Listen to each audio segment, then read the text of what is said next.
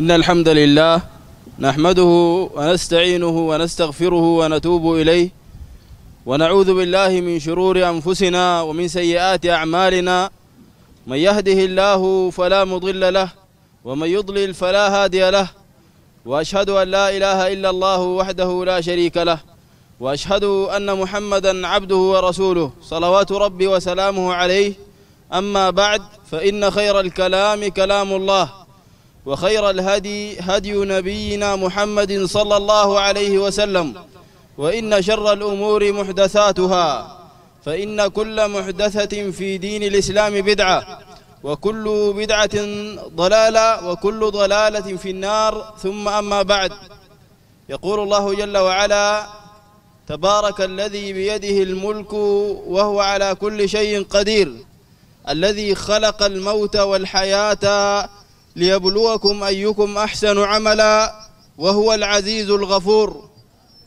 يخبر سبحانه وتعالى أنه المتفضل على الخلق الذي عم فضله وعظمت نعمه وإحسانه على الخلق وأنه خلق الخلق في هذه الحياة لغاية عظيمة وهي عبادته جل وعلا. وإحسان العمل في هذه الحياة وأنه ابتلاهم في هذه الحياة بالشهوات. فمن أحسن العمل بأن أخلص العبادة لله جل وعلا وتابع النبي صلى الله عليه وسلم وترك الشهوات كان من أهل الجنة. قال العلماء أيكم أحسن عملا ولم يقل أكثره لأن المراد إخلاص العمل لله جل وعلا ومتابعة النبي صلى الله عليه وسلم. لذلك تجد أن كثيرا من أهل الضلال والانحراف ممن عبدوا الله جل وعلا عبادة شديدة ولكنهم من أهل النار. كما قال النبي صلى الله عليه وسلم عن الخوارج والحديث صححه, صححه العلماء قال الخوارج كلاب النار. وقال النبي صلى الله عليه وسلم الخوارج شر قتلى تحت أديم السماء. الذين يقتلون أهل الإيمان ويدعون أهل الأوثان.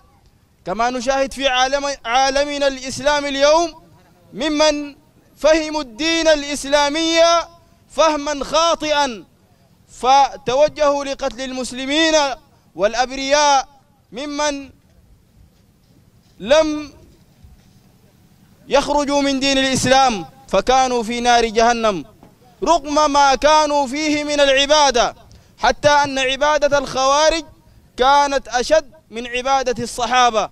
وقيام وقيامهم بالليل كان أشد من قيام الصحابة. ولكنهم ما أحسنوا العمل. ما كانت أعمالهم متابعة لما كان عليه النبي صلى الله عليه وسلم. لذلك يا إخوان نفهم إنه إننا مفروض نفهم الدين فهم صحيح. ونحسن العمل. العمل يكون خالص لله جل وعلا. ما نصرف العبادة لغير الله. كثير ممن ينتسب إلى الإسلام اليوم يصرف العبادات لغير الله جل وعلا. يدعو غير الله. تقول له نادي الله براو ما تنادي الأولياء. ما تنادي المكاشفي.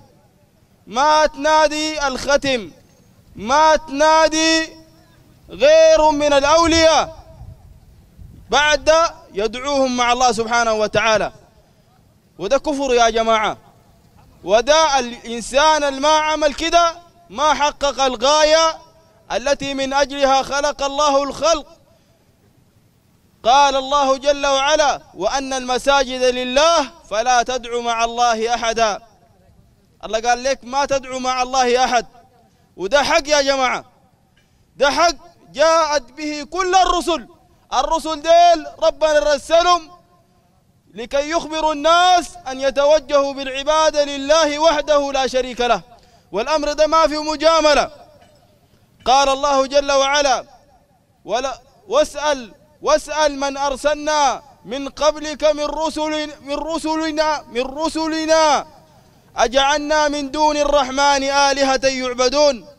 وقال الله جل وعلا وما أرسلنا من قبلك من رسول إلا نوحي إليه أنه لا إله إلا أنا فاعبدون كل الرسل يا جماعة بيأتوا لي الأقوام ويأمرونهم بعبادة الله جل وعلا وحده لا شريك له يدعو الله يستغيث به الله يتوكل على الله يذبح لله.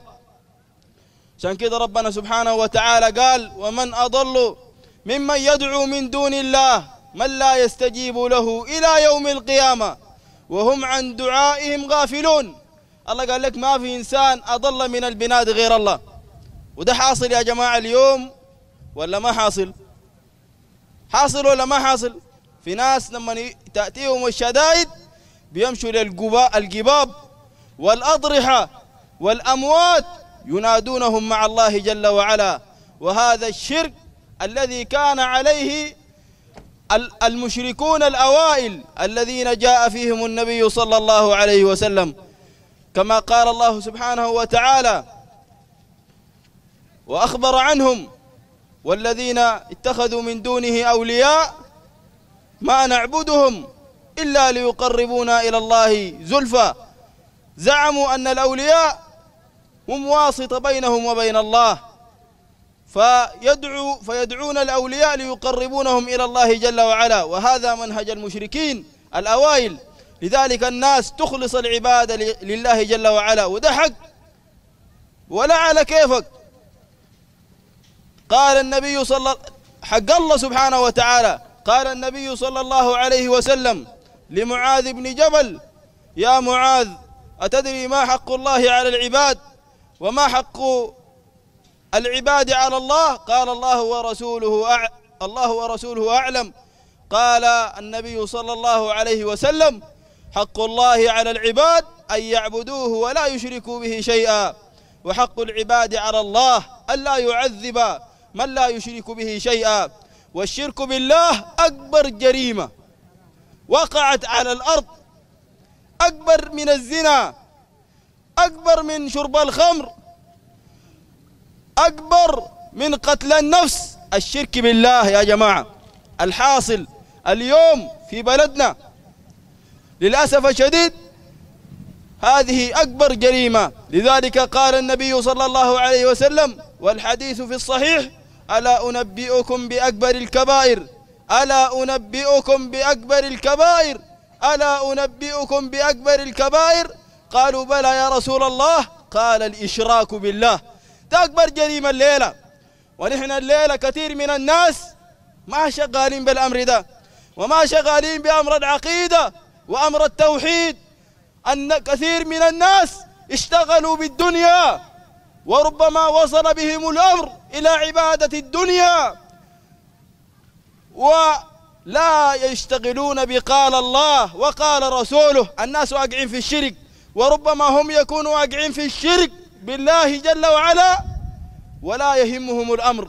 وهذا والله إذا لم يتغير فإنه موشك بنزول العذاب من الله جل وعلا لأن هذه أكبر جريمة.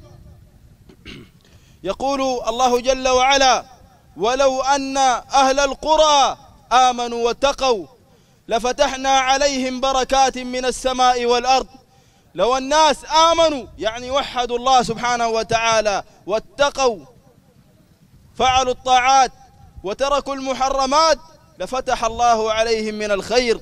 ولكن كيف يأتينا الخير؟ وكيف لا يرتفع الدولار؟ وكيف لا تكون المعيشة في ضنك؟ وكثير من الناس بعيدين عن التوحيد وبعيدين عن العقيدة الصحيحة. وبعيدين عن اتباع النبي صلى الله عليه وسلم وبعيدين عن عن أوامر النبي صلى الله عليه وسلم وواقعين في كثير من المحرمات وهذه الذنوب لها آثار ولها عقوبات. الناس إذا لم تتب إلى الله جل وعلا أنزل الله عقوبته وهذا من الخطر العظيم. والأدلة على توحيد الله جل وعلا كثيرة في كتاب الله جل وعلا. من ذلك ما بينه الله أن النعم كلها منه جل وعلا وحده. ما في ولي ما في شيخ ما في فكي. أنعم على العباد برزق. الرزق كله من الله سبحانه وتعالى. الله سبحانه وتعالى قال وما بكم من نعمة فمن الله. ما في شيخ أداك حاجة ولا ولي ولا فكي. ولا غيره. عشان كده تعبد الله سبحانه وتعالى. وإن تعدوا نعمة الله لا تحصوا لا تحصوها. إن الذين تدعون من دون الله لا يملكون لكم رزقا. قال الله جل وعلا وإلهكم إله واحد. لا إله إلا هو الرحمن الرحيم. إن في خلق السماوات والأرض واختلاف الليل والنهار والفلك التي تجري في البحر بما ينفع الناس وما أنزل الله من السماء من ماء فأحيا به الأرض بعد موتها وبث فيها من كل دابة وتصريف الرياح لآيات لقوم يعقلون. بعد ما الله سبحانه وتعالى أخبر أنه سخر لنا السحاب والبحار والسفن وأنزل من السماء ماء وأنعم علينا بالنعم. بعد ناس قال الله قال ومن الناس من يتخذ من دون الله أندادا يحبونهم كحب الله والذين آمنوا أشد حبا لله. بعد ناس يعبدوا الله سبحانه يعبدوا غير الله زي ما يعبدوا زي ما يعبد المسلمين الله سبحانه وتعالى. واحد تلقاه يقول بدل ما يقول يا الله يقول يا ود بدر. بدل ما يقول يا الله يقول يا ود حسونة والنبي صلى الله عليه وسلم النبي ذاته قال إذا سألت فاسأل الله. ما قال فاسأل ود حسونة لذلك يا جماعة ده حق الله سبحانه وتعالى. والله تفضل علينا بكل النعم في الكون ده. نخليه وندعو الأولياء مع الله سبحانه وتعالى. عشان كده ربنا سبحانه وتعالى توعد أمثال هؤلاء بالعذاب الأليم. ولو يرى الذين ظلموا إذ يرون العذاب أن القوة لله جميعا وأن الله شديد العذاب استبرأ الذين اتبعوا من الذين اتبعوا ورأوا العذاب. وتقطعت بهم الأسباب. يوم القيامة يندم هؤلاء الذين عبدوا غير الله الذين توكلوا على غير الله جل وعلا. زي ما يقول لك الليلة آه يتكلم عن شيخه يقول لك المتوكل لأمر يكل الكباشي يتوكل على الكباشي والعياذ بالله ويقول ويدعو له في المدايح. والله جل وعلا يقول وعلى الله فتوكلوا إن كنتم مؤمنين. الله يقول لك تتوكل عليه والله يقول لك ومن يتوكل على الله فهو حسبه. الله بيرزقك والله بيديك لأنه وعد المتوكلين عليه. وهؤلاء لا يملكون لك شيئا. عشان كده ربنا سبحانه وتعالى قال قل ادعوا الذين زعمتم من دون الله لا يملكون مثقال ذرة في السماوات ولا في الأرض. وما لهم فيهما من شرك وما له منهم من ظهير ولا يملكون الشفاعة. الله قال لك غير, غير الله سبحانه وتعالى ما عنده شيء أبدا لا في السماء ولا في الأرض وما عندهم نصيب من هذا الملك ولا أحد من الأولياء أو الشياطين يعاونون الله جل وعلا في ملكه ولا يملكون الشفاعة يوم القيامة. في ناس مجرمين بيقول لك بعدين يقول لك في زريبة المكاشفي ولا يقول لك ديل بيشفعوا لك يوم القيامة. وهذا من الضلال العظيم لأن هؤلاء يقعون في الشرك ويطلبون الشفاعة من غير الله. والنبي صلى الله عليه وسلم لا يشفع لأهل الشرك. كما قال النبي صلى الله عليه وسلم والحديث عند مسلم لكل نبي دعوة مستجابة وإني اختبأت دعوتي شفاعة لأمتي يوم القيامة فهي نائلة إن شاء الله. من مات من أمتي لا يشرك بالله شيئا. فالمشرك ما عنده شفاعة. ما عنده شفاعة. قدم بعدك شيخ أحمد. لأنه أشرك بالله جل وعلا يستغيث بغير الله سبحانه وتعالى. يا أخي النبي صلى الله عليه وسلم والصحابة ديل القدوة. كانوا في غزوة بدر وكانوا في شدة عظيمة. قال الله جل وعلا عنهم في كتابه إذ تستغيثون ربكم فاستجاب لكم. استغاثوا بالله جل وعلا والاستغاثة الدعاء في الشدة. استغاثوا بالله جل وعلا واستجاب الله لهم. وهذا شأن شأن المسلمين. ومن العبادات عبادة الخشوع. كثير من الناس تلقاه ذليل وخاشع. للقبور والأضرحة. والله سبحانه وتعالى يخبر عن الأنبياء إنهم كانوا يدعوننا رغبا ورهبا وكانوا لنا خاشعين. الخشوع ده لله جل وعلا.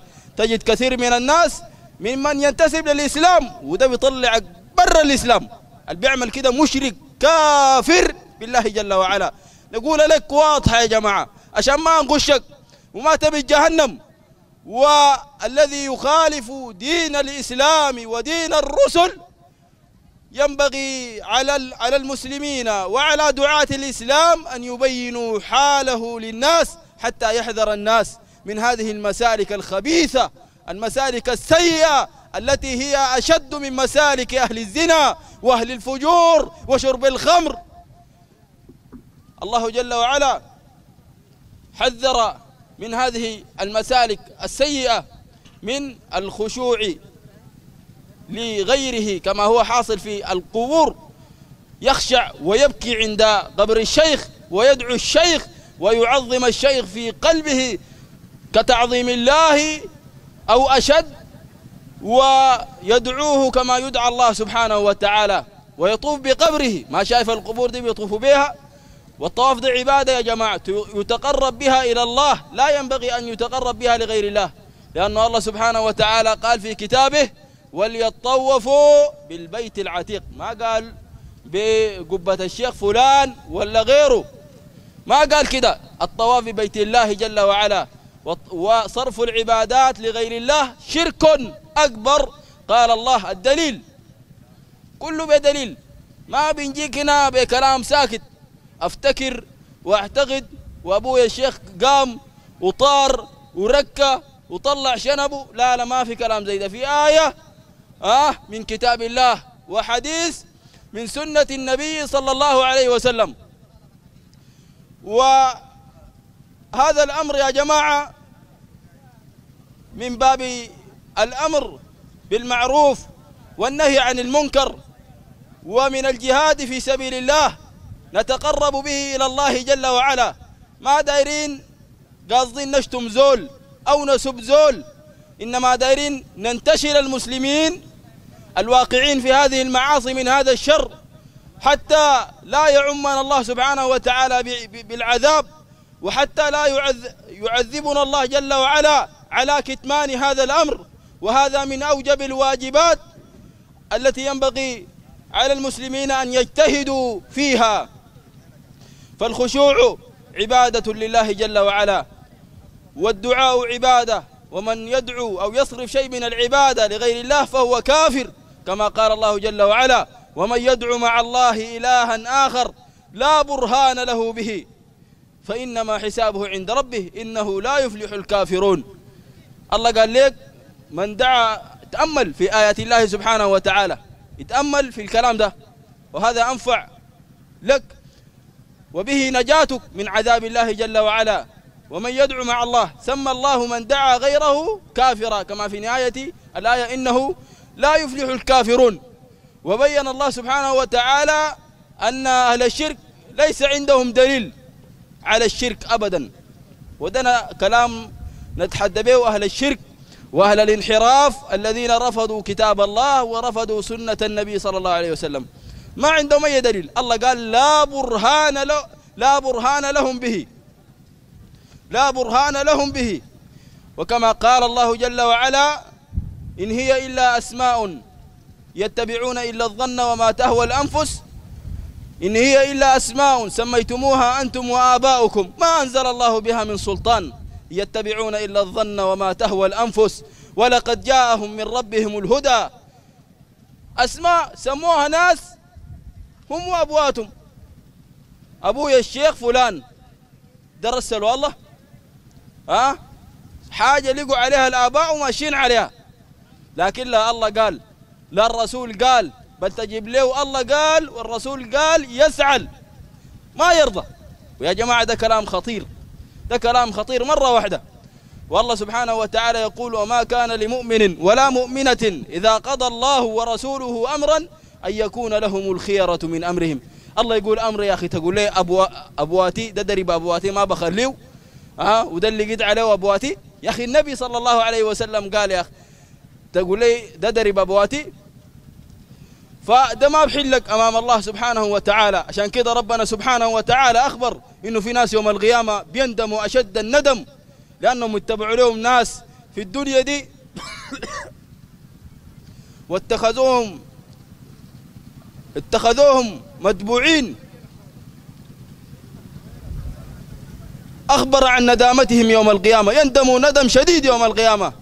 كما قال الله جل وعلا ويوم يعض الظالم على يديه يقول يا ليتني اتخذت مع الرسول سبيلا يا ويلتا ليتني لم أتخذ فلانا خليلا لقد أضلني عن الذكر بعد إذ جاءني وكان الشيطان للإنسان خذولا. ناس يوم القيامة يندموا. يقول لك يندموا. نقول في ناس جونا بكلام الله سبحانه وتعالى. وجونا بكلام النبي صلى الله عليه وسلم. قالوا لنا اتبعوا التوحيد واتركوا الشرك. تخيل شالوا الشرك وخلوا التوحيد. ده ما خسر. زول يخلي التوحيد يا جماعة. ودي حاجة بتزعل ويتبع الشرك. وده ما الله ما بيغفر له أبدا. الزول اللي بيجي بالشرك ده ده في جهنم خالدا مخلدا فيها. حتى لو زعم بلسانه أنه مسلم. لأنه يا جماعة الإسلام ده ما ادعاء ساكت بالكلام. الإسلام ده ما بالكلام يا جماعة. بس أنا مسلم كده وتاني تسوي السبعة وزمتها. تشرك بالله ترتكب الكبائر تعمل أي حاجة. أنت كده يا إما مشرك يا إما مؤمن ناقص الإيمان. بحسب ذنوبك ومعصيتك الإسلام ده لابد إنه تطبقه على يكون على جوارحك وعلى في عقائدك عشان كده ربنا سبحانه وتعالى قال إن الله لا يغفر أن يشرك به ويغفر ما دون ذلك لمن ويغفر ما دون ذلك لمن يشاء. الله الشرك ده ما بيغفره. لا تدعو أحد غير الله سبحانه وتعالى. وما تقع في شيء من الشركيات. لا تذبح لغير الله.